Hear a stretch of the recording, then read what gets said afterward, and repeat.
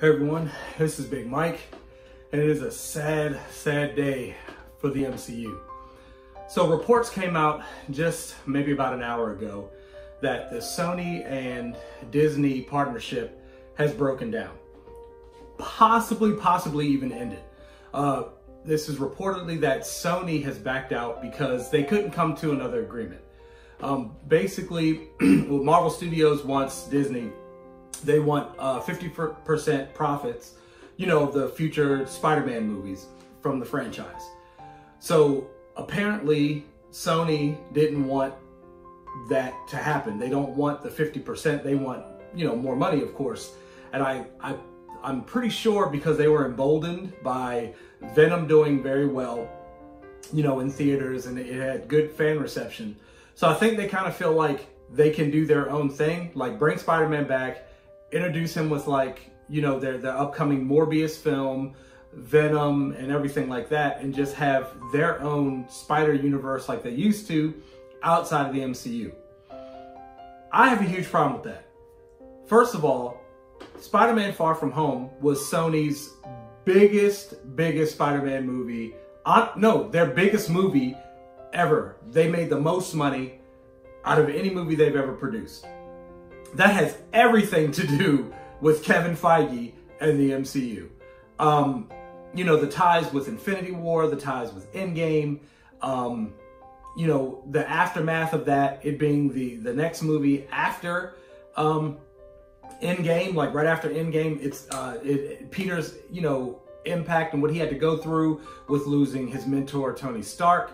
I mean, all of those things attributed to Spider-Man Far From Home being Sony's biggest movie ever.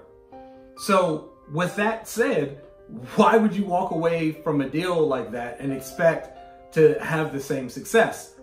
I, for one, don't believe they're going to have the same success with their own Spider Man universe not integrated in the MCU. You have so much more possibilities. Think about it. The MCU at this point is groundbreaking. It's done things that no other movie franchise has ever done.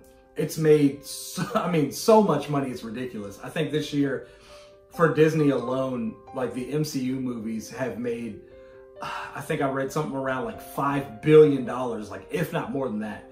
I mean, it's it's ridiculous. It's on a, it's on a ridiculous scale.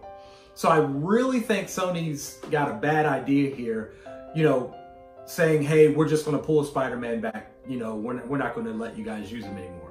I really believe that what they should do is come with a better partnership, you know, with Marvel Studios, seeing how big it's become, how they've never been able to sell the character as well. I mean, any movie really as well as they have having Spider-Man in the MCU. I think this is a huge, huge mistake on Sony's part. Now, I, it's not final yet. Right now, they've Sony have walked away from talks. Now, they have done that before. They've walked away from talks before. They've came back. They've come to a deal. I really think that Disney and Marvel Studios should consider, you know, even like a, I don't know, 40 60, 30 70, you know, something to where they give them a little more to say, look, we really need Spider-Man. I believe MCU really benefits from having Spider-Man. Spider-Man is kind of the face of Marvel. Always have been the face of Marvel. Like to me, if you think about DC Comics, I mean, number one and number two, you think about, you know, if you're not thinking about Superman first, you're thinking about Batman. You know, so it's like in DC, it's like not having one of those two characters. In Marvel, you know, even before the pre-MCU, if you thought of Marvel Comics, you immediately thought of Spider-Man. Spider-Man is a huge part of Marvel Comics should should very rightly be in the MCU. So I really hope that Marvel Studios and Disney and Sony can actually come up with a deal and hopefully this isn't like the last we hear of it. And that Sony's just like, you know what? We're, you know, wiping our hands of this or washing our hands of this and we're not going to, you know, have this partnership anymore.